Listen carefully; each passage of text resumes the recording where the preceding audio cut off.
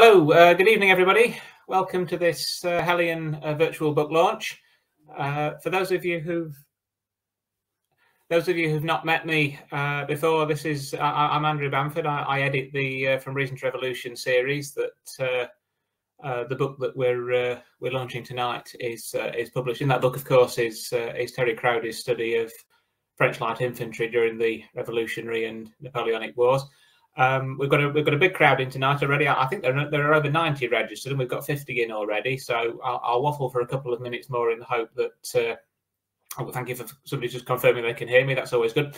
Uh, I'll waffle for a couple of minutes more, and hopefully we'll get hopefully we'll get a few more joiners. Um, we've done a few of these now. I suspect the veterans are going to be sick of this little bit of patter, but just for somebody anybody that's not used the uh, the Demio uh, platform before for, for events like this. It, it's it's entirely web based, as you will have found out. You didn't have to download anything to uh, to get on here. Uh, obviously, the downside of that is that it does entirely rely on your internet connection. So, if if you're having any uh, any issues uh, with connectivity uh, and, and, not hearing and seeing properly. Um, so the simplest thing to try is the old uh, the old IT Crowd solution. Uh, turn it off, turn it back on again, come out of your browser and back in, uh, and use the same link that you joined by to get back into the session. Uh, that may help. If you've got multiple browsers installed, uh, you could try different browsers and see if you get a better result. It does seem a bit to prefer some to others on different uh, on different operating systems. If all else fails and you do lose part of the session, you will all automatically be sent a recording uh, of the entire evening, um, and so you'll be uh, you'll be able to catch up after the fact uh, as an absolute uh, worst case scenario. Although you have to fast forward through the first ten minutes of uh, there being nobody on screen and the uh, and the opening chat. I've put up once, and I'll put up again on the chat a discount code. So if anybody hasn't already got a copy of the book uh, or has a copy of the book and wants to buy another copy of the book uh, for, for, a friend or, or, or, uh, or indeed for themselves, uh, you can do so with an offer that is valid on the Helion website through until uh, midnight tomorrow GMT. Uh, so I'll share that code when I finish speaking and, and, I'll pop it up again at the end of the session. It's up there once somewhere in the chat already. Um, the format for the evening then, um, I'll hand over in a moment to to Terry so he can uh, he can he can give you a talk about the uh, the book and the and the research that went into it. Uh, we'll follow that then with a with a Q and A session. Um, there isn't the function to to physically bring people on screen to ask their questions. So what, what I would ask you to do is, is pop any questions that you have for Terry in the uh, in the chat box that people have been using to introduce themselves uh, the uh, the software gives me the ability to flag up any questions so that I can uh, I, I, can group them together uh, and, and read them out at, at the uh, at the end. Uh, the one thing I would ask, because there, there's just me on the on the Helion end of things as host and tech support, um, if you have any questions that occur to you during the presentation, do, do, please ask them as they occur to you. Um, and I can flag them up and have them ready to be asked at the end. Obviously, if Terry's already covered that point, then, then I shall simply skip the question. Um, if you ask lots of questions at the end, I've got to juggle asking the ones that have already been written uh, uh, and, and, juggle that with, with trying to spot the new questions being asked in the chat. So uh, get your questions in early uh, and um, it will make it easier for me uh, I've got somebody in the chat saying they're struggling to hear. Uh, I've previously been told everybody can hear me, so I'm I'm hoping I'm hoping it's all good. If somebody could confirm in there they can still hear me, that'd be great. Yeah. Okay, grand. I think that may be a fault, unfortunately, with with, with the person who asked the question, uh, which, which, may be uh, a case of trying in that case to uh, to come in and out of the uh, the browsers. Although I realise as I'm saying that, if they can't hear me, that's not especially helpful advice. Uh, right. Anyway, I've waffled for long enough. We've got plenty of people in. Um, I uh, I will hand over there for the moment to uh, to Terry, our speaker. I, I I don't think really in a in a in a virtual room full of Napoleonic experts and scholars that he needs very much introduction. He he is the man on, on, on the topic that, he, that he's written on. Uh, you'll be familiar, I'm sure, of course, with his, his previous work on the uh, on the Neuvième Légère uh, and I've seen at least one, uh, one, one, one Vive to that regiment in the chat already. Uh, so uh, I will uh, I will disappear in a moment. Terry is uh, in the process of joining us on the screen, and there he is. And I will disappear. And over to you, Terry. Hello. Just quick sound check then, and make sure everybody can hear me.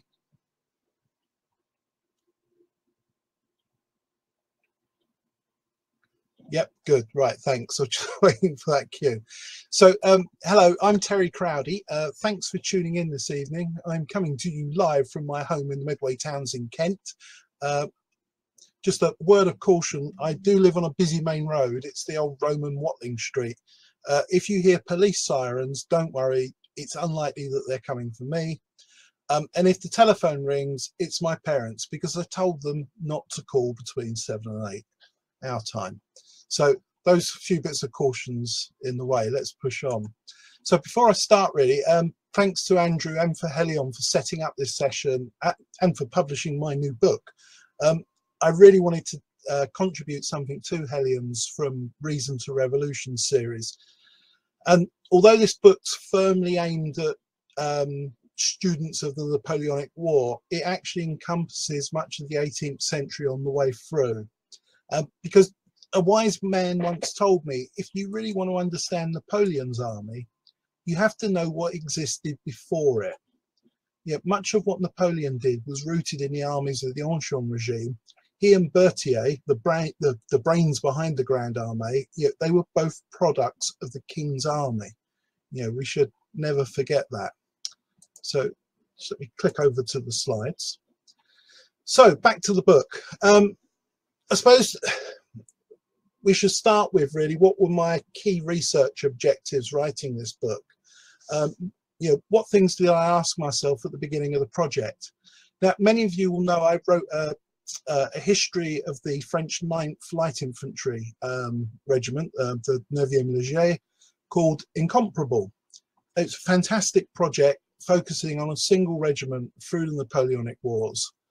And yeah, but when I did the research for that book, I obviously studied the subject more broadly, um, particularly the phase between the Seven Years' War, uh, so it's the uh, French-Indian War, all the way through to the Revolution. And I didn't really have much space in, in Incomparable to deal with that subject.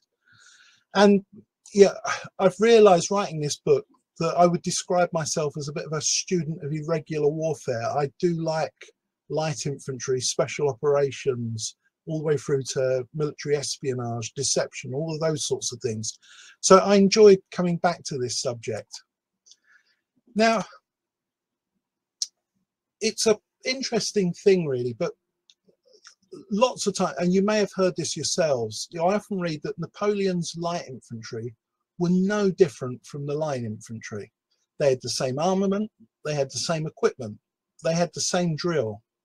The only apparent difference was you know slightly different cut of uniform. And you know lots of people perpetuate this. And although there are some truths in this statement and under napoleon particularly post 1808 you know the the unique role of light infantry did diminish.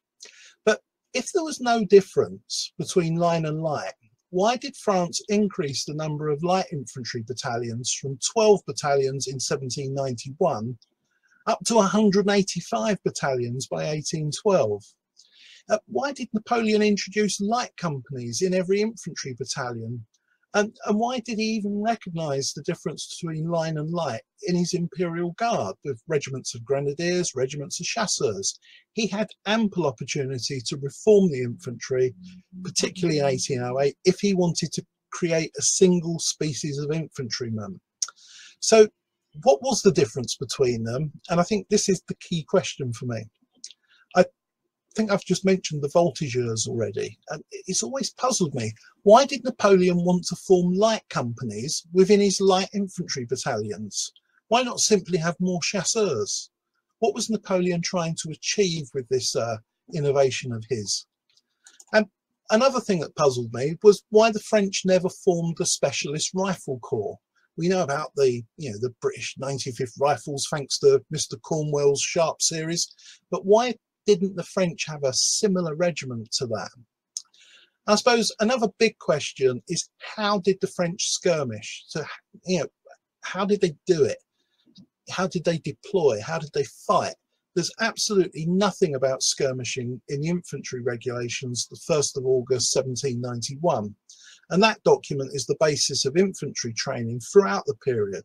How did they do it? How did light infantry deploy in skirmish formation and so on? Well, I'm not going to have time to answer all these questions in detail this evening. And after all, I actually want you all to go out and buy my book. But I'm going to highlight just a couple of these key themes to hopefully whet your appetites. So let's start somewhere here. So we've got, you should be able to see this lovely uh, new picture by uh, Patrice Courcelle, which I, am going to describe and which obviously is it within the book. So Napoleon's light infantry regiments ultimately originate from a small number of irregular free corps that existed in the mid 18th century. So before you know anything about light infantry regiments, you have to know about partisans. Now, forget the modern interpretation of the word. Um, you know, in French, the word partisan, it originates from the same word as party. So it's perhaps to a better, um, it's better to think of them as a sort of a party de guerre, or I suppose in, in English we might say a war band. That sounds a very sort of 18th century term. So these are irregulars who conduct uh, the petit guerre, which is you know the French word for guerrilla, you know, Spanish guerrilla or petty war, little war. So it's a it's the war of outposts and it's the attack on enemies' lines of communication. And these irregular corps tend only to be formed during wartime. They can earn prize money. And it actually helps if you think of them as a kind of um, like a privateer or a corsair, using the French word, you know, like a land corsair. Not pirates, because they were legitimate combatants, but they fought away from the regular army. Now, something I didn't know before um, starting this project, and I think it illustrates my point well, is in 1814 and 1815, Napoleon authorized the raising of partisan bands in France. And perhaps these were, I don't know, perhaps these were the first French resistance. Uh, you know, you have the Franc Tirailleurs in the, uh, you know, Franco-Prussian War. And actually, if you think of the communist resistance in France in the in the Second World War, you have the uh, Tirailleur partisan. That word partisan comes back again, doesn't it? So perhaps these were the the forerunner of that. And anyone could form one of these partisan bands. You just needed enough men. You needed the permission of your local commanding general. And in return for this, for setting these units up, you received a patent. So it's a letter confirming you were not a brigand. So if you were caught, you weren't going to be hanged. Um, and so here, what I've done is I asked Patrice Courcelle to make an interpretation of a, you know, an old Napoleonic veteran, a veteran of the consular period, perhaps at Marengo. And yeah, faced with the threat of invasion, he rounds up his local villagers, the woodsmen, you know, these people that know the countryside, and they said, right, let's band together. We're going to attack these allied invaders. And the men fought for prize money, and there was some impressive um, sums that, that were paid as by way of a bounty. So if you could capture messengers, if you could capture officers, that there was almost like a menu. There was like a, a list of what you, you know, how much money you would get for capturing each person. Uh, if you could get your hands on a general, I mean, you were going to be seriously rich for this. So it's a it's a really interesting thing. So this this spirit of the irregular warfare carries right through into the Napoleonic time. I think there's a whole subplot to the campaigns in France in 1814 and in Belgium, know, with the Armée du Nord in 1815 that I think in certainly in the English language needs to be more there needs to be more work on this. I think it's a you know a really interesting little subtopic. So moving away from the partisans then, um, so we've got on one hand we've got these formal light infantry regiments. Uh, they they come out of the irregulars, uh, they become legions. These become battalions of chasseurs. Under the revolution, these become the half brigades of light infantry, and then finally, for the first time, they actually become proper regiments under Napoleon. Um, so that's one type of light infantry. The other type of light infantry are the light companies attached to every battalion. And so Napoleon called these the voltigeurs. Um, it's interesting. Another thing I didn't know, he did actually toy with the idea of calling them partisan companies. And for me, that actually would have been a, a more precise definition. Yeah, they were supposed to be these kind of raiding type troops that, that would go off in the advance guard. But alas, we ended up with voltigeurs, more of which in a minute. But what's important is there is nothing new in the idea of putting light companies in infantry battalions. This is not a Napoleonic innovation. If you go back to 1759, the French create chasseur units out of the best marksmen in their battalions. And so they, yeah, they create a chasseur companies. These companies amalgamate and unlike the irregulars out there burning and looting and, you know, pillaging and all of those sorts of things that they were doing, these light companies are intended to provide line infantry with close support in terms of being scouts and skirmishers. Now, disastrously, in my opinion, the French suppressed all light companies in 1791. So a year and a bit just before the war, they turned around and just said, that's it, abolish all the chasseur companies. We don't need them. And the reason for this, it, you know, I go into it in detail in the book, but there's some Prussian-loving theoretician who says all soldiers can skirmish. We have no need of chasseurs. Get rid of them. So the French can actually be quite pragmatic when it comes to ignoring illogical regulations. Of course, they needed chasseur, you know, and light companies. That these things had come out of necessity. So through the 1790s, particularly in Italy, the French recreate their own light companies and they call them éclaireurs. And uh, I was surprised when you actually start delving into this. This is quite a common thing, even going out to Egypt. You hear about the, you know, the éclaireurs or the scouts. So with the voltigeurs then, Napoleon, he's really only formalizing something that's already going on. His innovation, and if you could call it that, was to restrict entry to the voltigeurs, not based on marksmanship or agility, but on the men's height. And as you'll famously know, voltigeurs are short. So you have this odd situation that men who were previously considered too short for military service are now rounded up, drafted in, processed, given uniforms, and absurdly they are classed as elite troops. Um, it you know it's absolutely stunning really um, and the other thing that absolutely puzzles me is Napoleon gives these light companies to the light infantry regiments first. So the voltigeurs are formed in light infantry in 1804 and then in the line infantry a year later. Why? Why did the light infantry need light companies?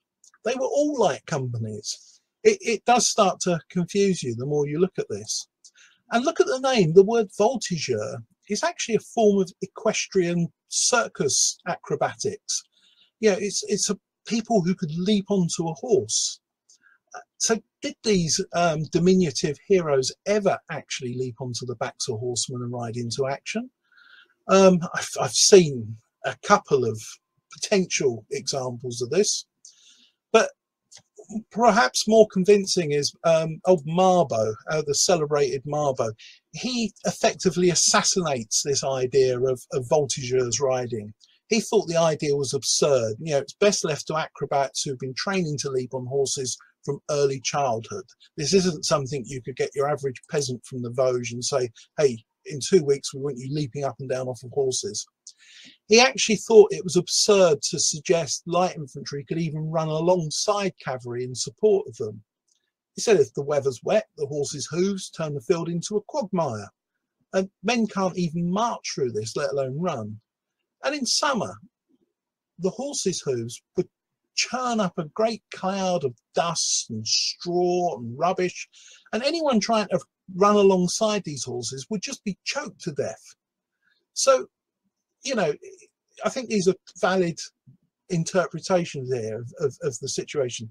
Uh, more practically, Marbot pointed out it was impossible for a voltigeur to climb onto the back of the horse if the rider has his portmantle behind the saddle. So you all would have seen this in illustrations and war games figures. It's that sort of roll behind the saddle. So if that's there, you can't put the voltigeur there.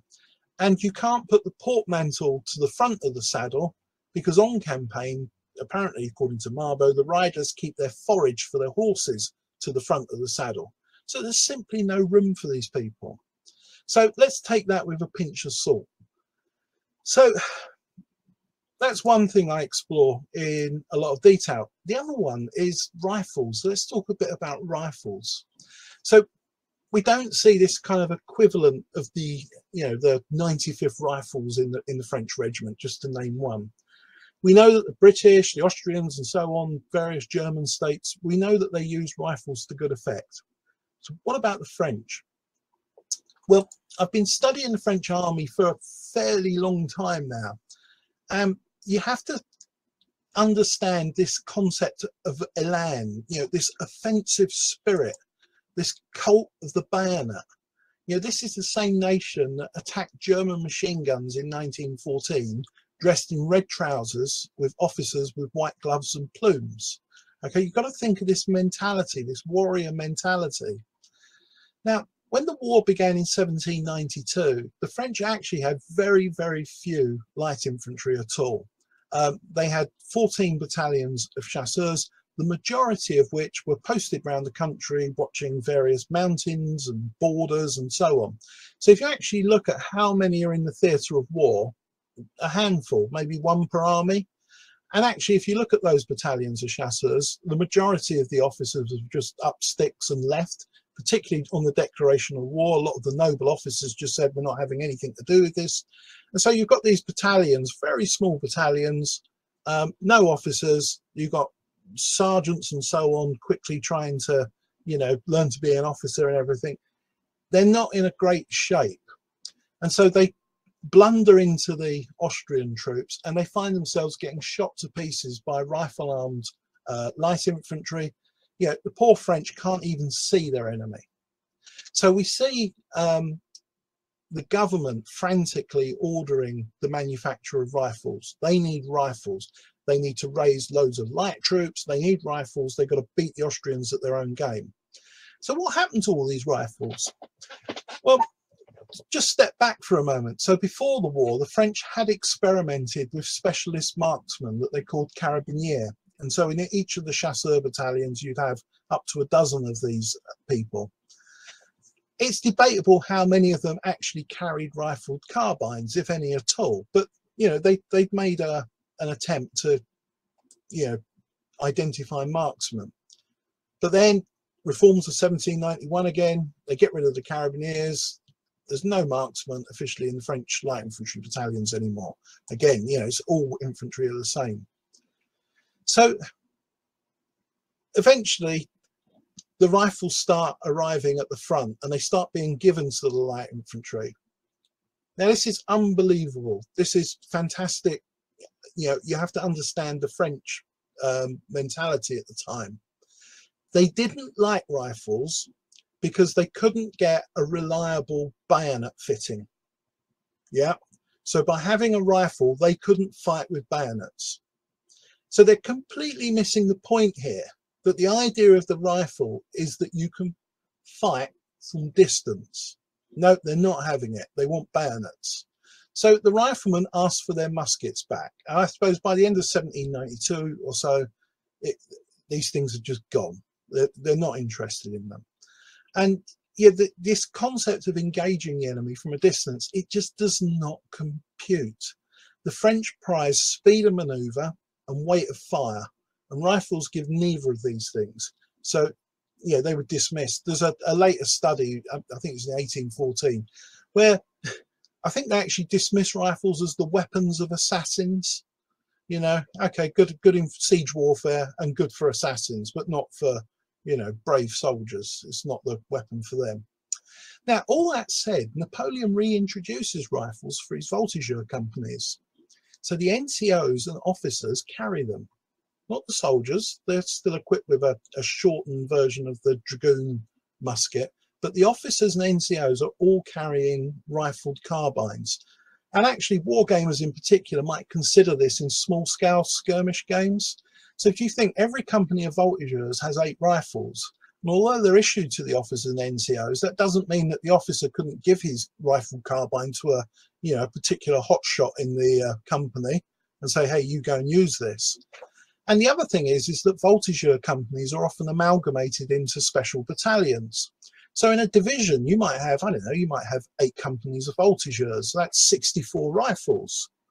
And it also appears that some light infantry officers are carrying carbines for close protection. So the point I want to make here about rifles is if some Spanish partisan is shooting at a column from up in the rocks, the French can shoot back, but they prefer bayonets. So when we talk about the difference between line and light,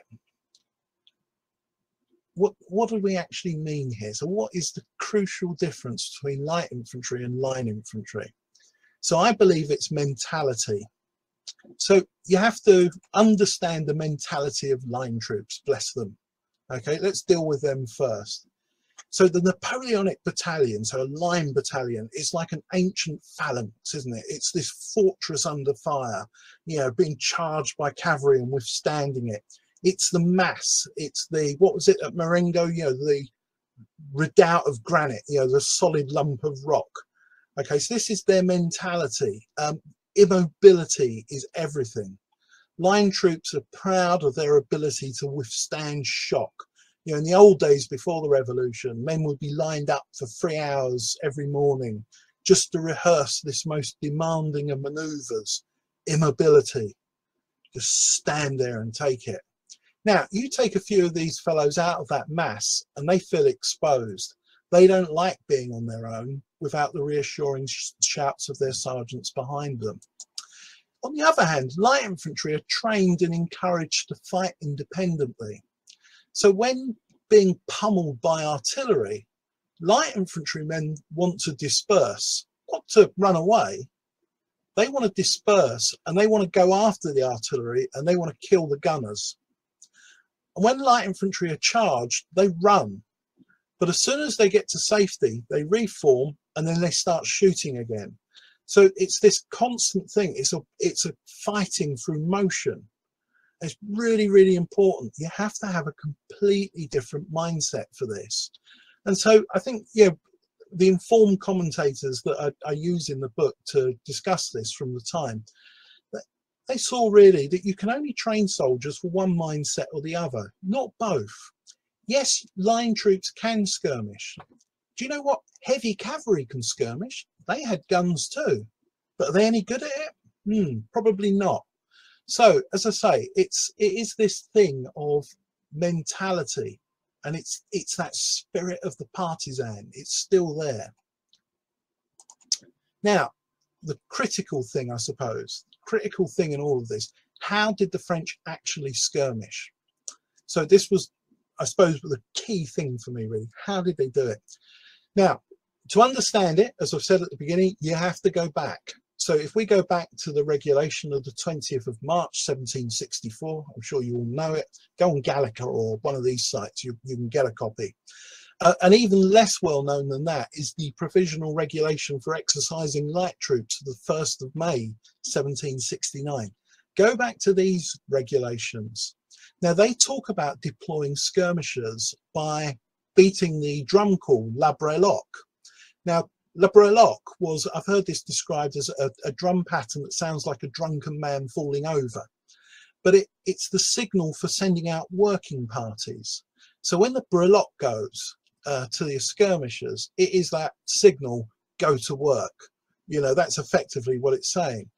And these early regulations talk about dispersing the men with a command à la paille, which means to the straw. And so it's the instruction to break ranks, go gather forage. It's also the instruction given when calling a toilet break, apparently. So in essence, you're just telling the men, break ranks, go off, disperse. So put this into a skirmishing context. Once dispersed by the Breloque, the men run.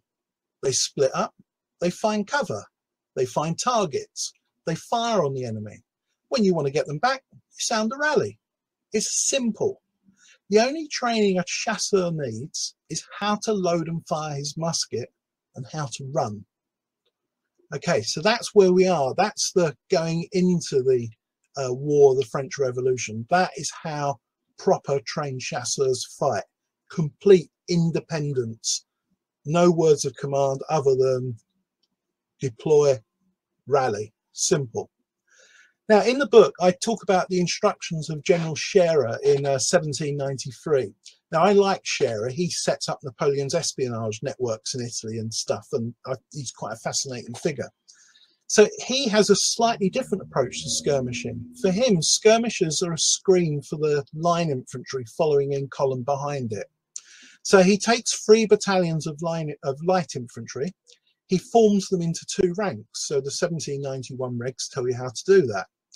He then has them open their files by two or three paces. So in effect, the light infantry are now fighting in line, but in an extended order to cover the whole frontage of the division behind. So by removing that third rank and opening the files, what he's done here is he's massively reduced the effect of enemy fire on this formation. But actually, if you think about it, it is it's still a formation that we're talking about now. The earlier instructions describe men operating completely independently. But here, by having this kind of formalized skirmishing in two ranks, you now introduce the concept of skirmishers fighting as pairs, and later instructions reinforce the importance of one soldier being loaded at all times, covering his buddy as he reloads. And then by the time you get to the invasion of Russia in 1812, we've got examples now of instructions for voltigeurs. And this changes again. So by now they're saying two thirds of the men disperse into a chain formed of two ranks with intervals of anything up to 15 paces between each file. But one third of the men remain in reserve and they, they, they act as a, a, rallying point for the chain and also that you can send reserves out and replace casualties or guys with broken guns or uh, low ammunition and stuff like that. So it becomes much more sophisticated again. Now a commander uh, he can advance he can retire his chain he can order it to open fire he can get it to move to a flank and the signals for this are given by the cornets or by drummers the cornets so this is the you know the french hunting horn. They they appear to have been pretty ineffective in the din of battle. And so sometimes you see mentions here of ncos having to go along the line with verbal orders and, and stuff like this. And one thing to note and I'd love to hear examples of um, you know where this where this comes from. It's I can't find any reference for French troops using whistles in skirmishing context. They had uh, Belgian volunteers early in the 1790s under French service. They used them. I believe I've seen uh, mentions of the Swiss using them later on, but I can't find a single piece of evidence there for French using whistles. So just looking at the time there, look, yeah, there's there's a lot in this book. We've got what's that, 198 pages, lavishly illustrated, beautiful color artwork, original artwork, flag art. It's all there. I think what I would just say is, in, in my conclusion, that you know, there clearly is a, a, massive difference, I think, between the, the light infantry and, and line infantry there, there are a lot of people who try to create this kind of universal soldier, uh, but it, it, at the time it doesn't work. You know, th this reliance on the phalanx, you know, the the mass, it, it's not conducive to running around and skirmishing. So of course line infantry could skirmish, of course you could deploy a battalion in on Tirailleur and so on. But light infantry have the, I think, the right mindset. I think at the time it's generally accepted that service in the light infantry is the most arduous and it's the riskiest. Um, in some respects, it's the most honourable because light infantry always engage the enemy first. So at that, I will um, bid you all Merry Christmas and so on. Um, and if Andrew is there, we can move on to some questions, and I hope I can answer them. You, Harry. That was uh, that was great.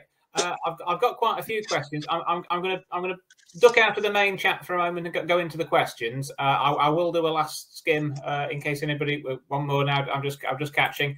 Uh, Eric, you're good. You're in the uh, you're in the question box. Any more after that, I, I will come and and try and do a final sweep. But I'll just I'll just go through these ones first. Just bear with me a moment because I'm, I'm, conscious that there are, there, are, there are several cases where I can probably pull a couple of questions together on the same theme Sure. rather than us dipping back and forth again. So just bear with me a moment because there were a couple pertaining at the beginning to the very early days. Um, so one of the, um, if, if if this works right, the question should appear, but I, they won't. You, you won't see them on the on the recording playback. So I'm going to read them out as well. Um, so we've got a question first of all, uh, going back into the 18th century theory. Did you look at any of the 18th century writing on partisan war, uh, Jeney, Ewald, or Emmerich? Yeah, so uh, Jeney certainly. There's the um, the classic, um, you know, the partisan um, work, which is excellent. Um, it's Grandmaison, isn't it, as well? Um, is the you know his treatise on petit guerre. Um, so you know, without listing all of them, obviously, you know, in the book there is a, a bibliography there. What I try to do is is to start this thing by looking at. I understand I've, I've seen mention there of Frederick the Great's instructions and so on, but I started looking at some of these guys that had commanded um, partisan irregular troops in the sort of 1750s into the Seven Years' War, because these are the books that people were reading in the sort of 1780s when these uh, chasseur battalions were first being set up. So yeah, absolutely, uh, because there there is no other source material. There's nothing original being written in the 1780s. You have to go back to the Seven Years' War to to understand what they're doing and how. If I could follow on from that one, then uh, uh, again, again looking at precedents, but but specifically on the issue of rifles, the, the question was: uh, uh, Could French interest in rifles in the 1780s be due to their experience in fighting in North America in the American War of Independence? Well, I did look at that, and I wondered to what degree the you know the French experience in the um, call it the, the rebellion in Britain's American colonies. Um, you know, what to what extent did that influence the French? And I read some interesting stuff. So you got uh, there's a bit a mention of Lafayette talking about he he was really impressed with um, you know American riflemen, but actually they looked at, at, at the American troops and just sort of said that they're really a, a militia, really. And you had this sort of slightly snobbish attitude for them to be, you know, that these French guys are, you know, they're noble officers in regiments with long traditions. Uh, They seem to actually be quite dismissive. Um, there's one of the writers was a much more. He looked at the um, in the uh, wars in Canada, the uh, Acadians, and he gave some examples of sort of French Canadians shooting up uh, English um, columns, and said, you know, these these are a really really good um, example to follow. But in Europe, I don't know. It seems to be very much a. It follows a European context, so the French only really dabble in um, in light corps and you know regular units after they encounter those coming up from the Balkans in, in the sort of the Habsburg armies. And again, it's only really until 1792 when they, they run into um, light troops fighting with the Austrians that they again have this mad push to you know get loads of light infantry. So uh, much of the debate in France is actually we don't need chasseurs, we don't need light infantry, everyone can do it. Right, we had we had some more questions about rifles actually. So since since we've mentioned rifles there, I'll just see if I can. It is. I, I think it's a very fascinating subject with the French and rifles. Mm, there was one then here. Um, I believe there are others, but I'll, I'll, I'll pop this one up while I see it. Uh, uh, simply, uh, what was the rifle manufacturing industry like in France? Well, I'm I'm not an expert on on arms manufacturers. Um, so they had the, I think in the Napoleonic time, the the, the famous sort of you know uh, Versailles carbine seems to have been a bit of a luxury item. My, my understanding is is it wasn't so much the manufacture of rifles. One of the things they had more trouble with, I think, was getting good quality gunpowder with these things. And I think that made perhaps made rifles slightly more unreliable. Um, but as I say, it's um, in 1792 they're actually buying the rifles from Liège, so that's you know Belgium, isn't it? So um, this isn't something they're they're mass producing themselves. It is something that they have to go out to source. Um, and but as I say, I think there's there's a general rejection at, at various times by the French of the rifle. On, on that very topic, then, rather neatly, um, uh, uh I, th I, th I, think Dave is setting you an exam question rather than a, uh, the conventional source. He says, I see a disconnect between the denial of rifles use and the overriding hypothesis of Leger tactics. Discuss. right, let's have a little think about this one then. Um, so, one of the things I talk about in the book is one of the classic um, tactical innovations of the 1790s is this tirailleurs en grandes bandes. You know, it's it's just masses of skirmishers, and it's as I said, it, the French are really into speed of maneuver. So it's you're throwing hundreds, perhaps thousands of skirmishers working their way quickly onto the flanks of the enemy to pull their line apart before you then charge it and, and attempt to break it. So the rifle is it's just they don't get it. They don't get the idea that you can stand from a, a distance and take pot shots at people.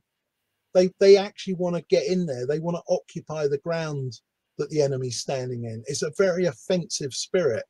And it, it, you know, you'll read about Duhem, um, you know, General Duhem, and he was a, a captain of one of these um, sort of free companies in the early 1790s. And he, he talks about his carabiniers that they gave rifles to. He said, effectively, we disarmed them by giving them these weapons. They just couldn't use it. The other thing he did actually mention is that the, um, and this may be answering the previous question. Um, so he said one of the problems they had was with the ammunition, not just the powder, but the actual ammunition, that after a day's fighting, his carabiniers would have to sit there all night making fresh ball because the um, the rifling, pretty much every single gun he was saying needed its own mold. That you know there was it wasn't very standardized, and so he just said the whole thing with rifles they just couldn't get on with it. And the worst thing, of course, is you can't attach a bayonet to these early rifles, uh, and that that just finishes them. So as I say, it's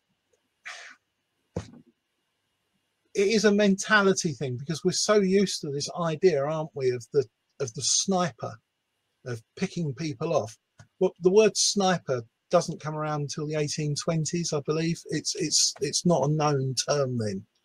So as I say, it's it's tricky. Have a look in the book. I talk about it. They just cannot get their head round rifles and skirmishing. Thank you. I think that's actually answered a couple of other questions as well. So forgive me if, I, if, if you've asked something very similar and I, don't read it out because I'm conscious we're we're on, we have got uh, uh, a slight time issue. I want to get through the rest of them. Um,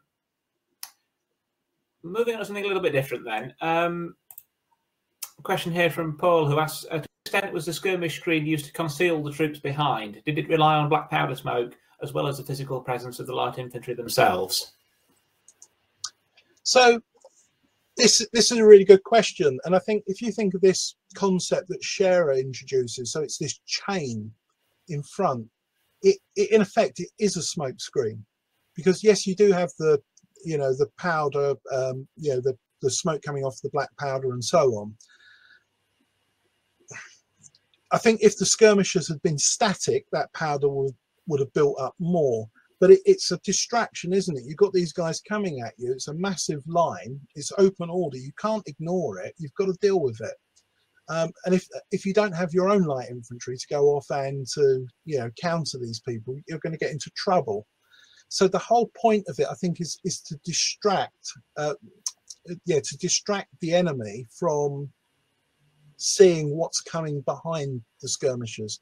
Now, it's quite interesting. It, somewhere in the book, I talk about Wellington and, and, wondered if he'd read some of these French texts because it says the way you deal with this is if you if you sit your troops up on a hill, you can actually look over the top of the skirmishers and you can see what is coming behind them. Um, and you know it, they basically give the key of how you negate this. But um, but it is um, I, I, think it, you know it is just it's this wave of fast moving troops that you've got to deal with and it's screening what is coming in behind you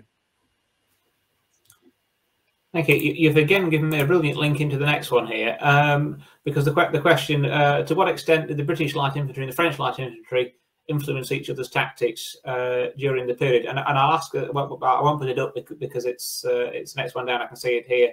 Uh, but I think a linked thing to answer at the same time. Uh, a question from Stephen who says, "How did the French light infantry do so well against other nations, but not the Brits?" Well, I think it's some of this is a question of when so at the beginning of the war, the French did terribly. They were shot to pieces by enemy light troops. And, and their actual way of dealing with it was just getting thousands and thousands of light troops and just throwing them at the enemy and overwhelming them. But this question here, so th there's a really influential work um, by, um, what's his name, uh, Jarry, and he writes um, he's a french emigre who actually starts off in um, he has quite an interesting little career. He ends up going over to to england and then training officers and they they apparently they didn't quite like they thought this sort of gangly french character was was a bit of an oddity but he wrote the most brilliant um, treatise on french light infantry and it was around the time of the invasion scare, so sort of 1803, 1804. And the in the foreword to this book, he says, he said, if the French come over the channel, we're going to have to deal with their light troops, and and this is how they're going to fight. And so this Jarry gives this whole, you know, from the advanced guard work to battlefield skirmishing to everything. It's fantastic. I, I do talk about him at length because he, he does give away the sort of trade secrets. So if we look at that, if we're looking at that kind of invasion scare, um, you know, it, sort of late consular period, it looks like the British don't really have the troops to match this or the tactics. They're not used to just the sheer weight of battlefield skirmishers that the French are using. So um, in terms of are the French then influenced by the English? Um, I don't think so. You get this funny one with Marbot, and he talks about, oh yeah, we, we kill all their officers so much that the, the Russian officers stopped wearing uniforms, you know, so we wouldn't see them. And he said, and, and the enemy light troops, they never did that to us. They never made us suffer like that. So I, I think, yeah, we take Marbot with a pinch of salt there. But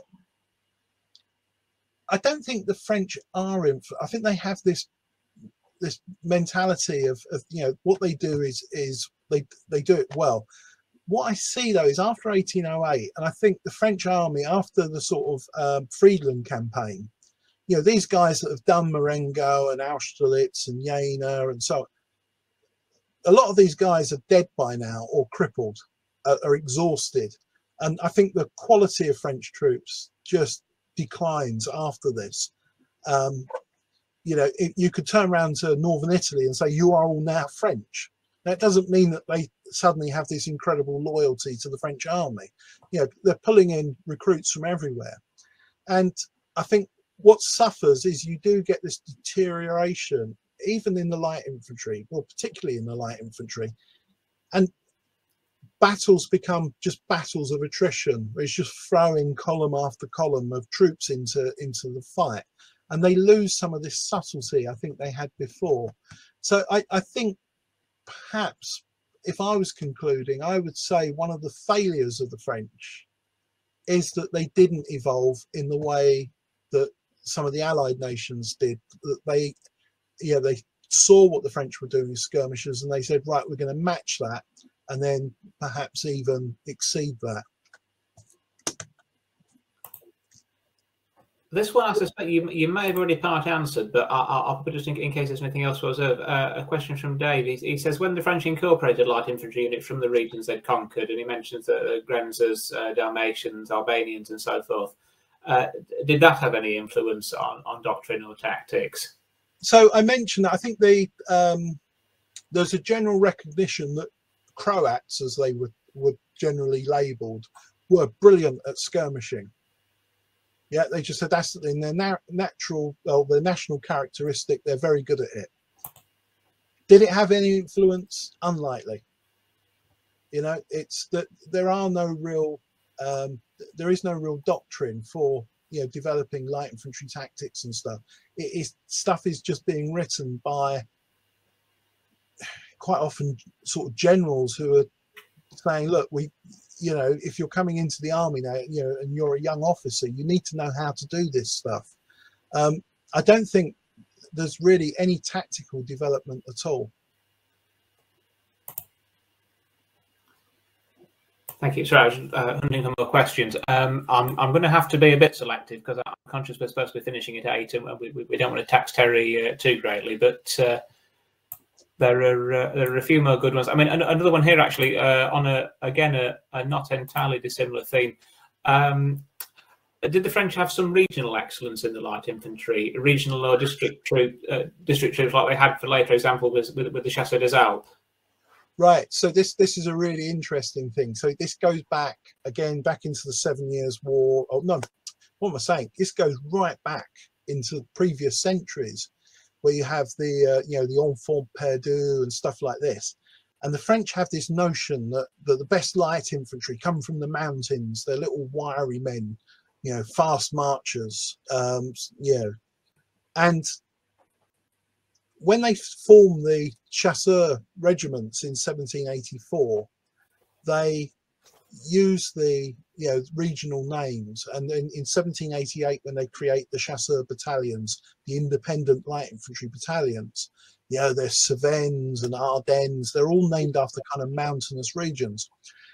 A few of them yeah like the Corsican chasseurs raised in Corsica they're probably Corsican but I, I looked at this and I, I do give some statistics in the book from some of the um, inspection reports I did survey from 1788 um, and 1789, most chasseurs came from either the Languedoc or from Alsace or Lorraine.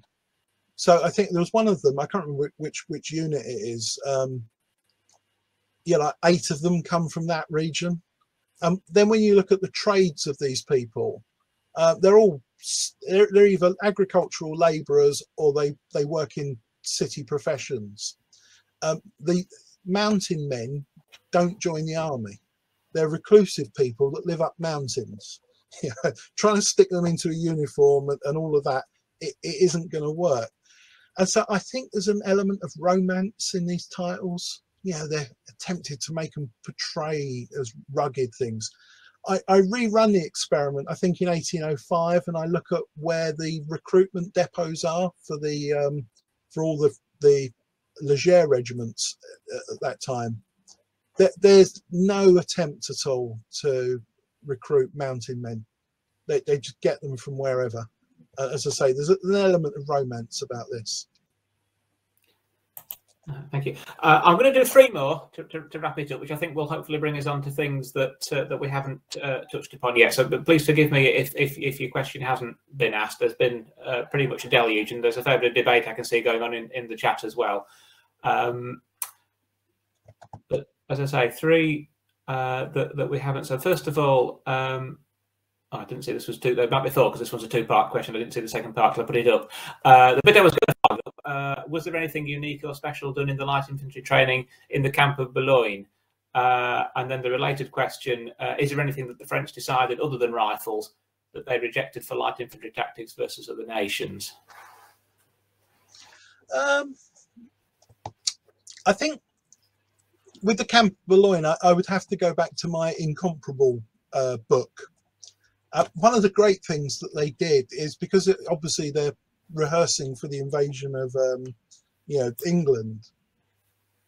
There's one bit where they they're almost practicing um, assault landings, so they're putting the voltigeurs into you know the Napoleonic equivalent of landing craft, and these guys are rehearsing, leaping out of the boats, running ashore through the surf, um, skirmishing, sort of forming up and charging off and and uh, you know clearing the beach. It is it is very um, sort of Normandy 1944. I found I found that quite an interesting little thing.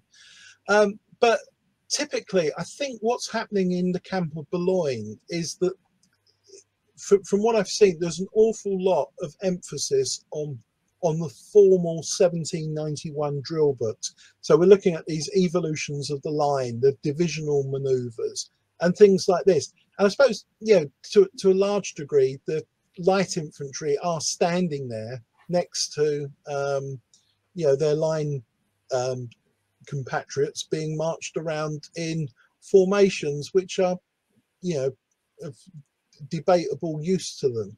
You even get one of the classic things where Ney turns around and says, you know, because some pre-revolutionary um, uniform regulation said all all soldiers must have long white gaiters, and he just said, "That's it. I want all my men dressed in long white gaiters." So you end up with you know the neuvième léger, the colonel, just going, "Well, where God's name am I going to get two thousand pairs of limb made?" Um, and they being very upset that his men are not wearing white gaiters as the regulations say. So, you know, I think in terms of light infantry training, uh, not a lot. One little thing I would just add is I did see in uh, 1784 and 85, reading some of the inspection reports, um, you get little comments from the inspectors like this battalion shoots at the target very well. So in the old days, in the you know the old Royal Army chasseurs, these guys were learning to be marksmen. Um, you know they were spending time on the range shooting at things, which I don't think you know the later Napoleonic armies did in any great measure. Uh, that, that you, you're doing brilliantly on the linked questions here. That's uh, uh, brings me perfectly onto the, and I promise this is the uh, the second to the last.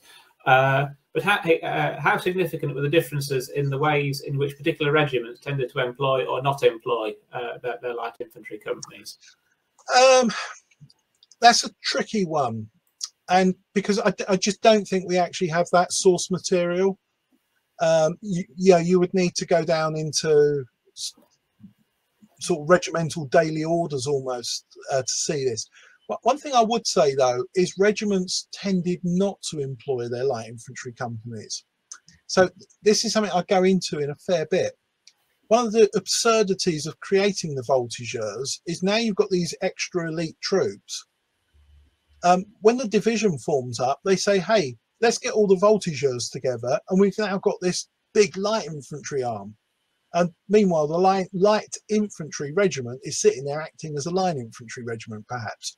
So what you do find is that it's not that the regiment employs um, or has tactics. It's you know a general of brigade or a general of division. They have their preference for how they're going to use light troops. And on the day of battle, and I do give examples of this, they will sit there and say, right, I want all my voltigeurs, get the whole lot out, uh, and even form them into, um, along with all the grenadiers. And so you start creating these elite battalions.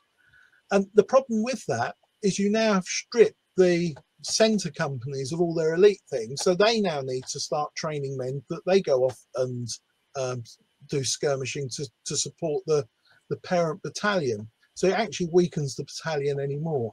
So as I say, it's not a regimental thing. I think it's it's it is something. It's it's how the general wants to use his division. And as I say, there's loads of examples, and it is something uh, the wargaming community might want to play with.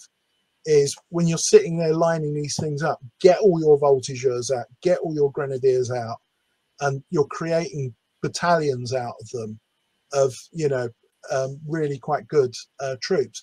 Although do bear in mind, if you try to use voltigeurs, who are the shortest men in the army, with the shortest guns, if you use them as shock troops, and they used to, they used to try and do that, um, you, it is a bit ridiculous, really. Yeah, you're putting, it's not like you're putting great big burly grenadiers with, you know, full-size muskets into a, an attack against a city.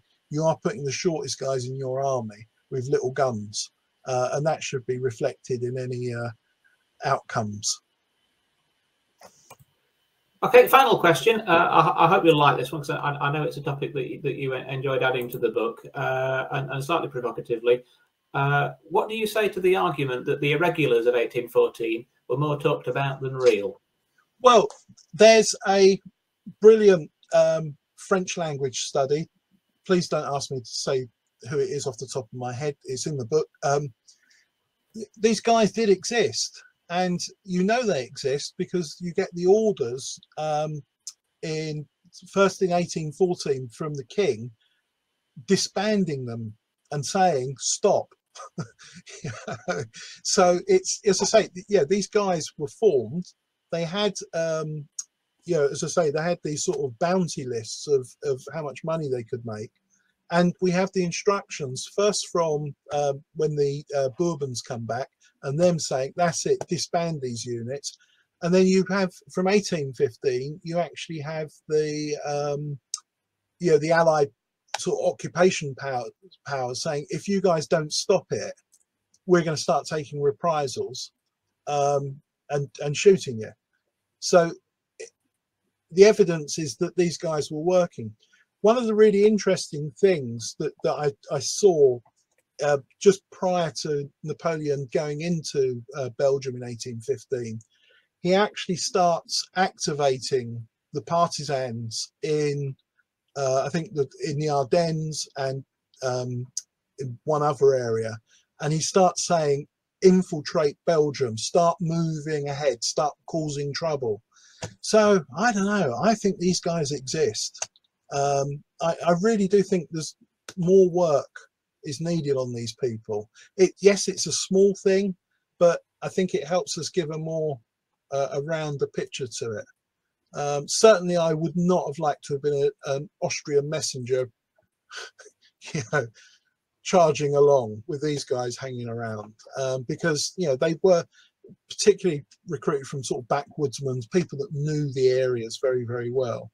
Um, so as I say, it, I think it's an area we need to do more work and uh, I'm sure there are reenactors out there that can see incredible opportunities for outlandish costumes, weaponry of all manner, and quite interesting weekends in the woods. So uh, yeah, enjoy that one.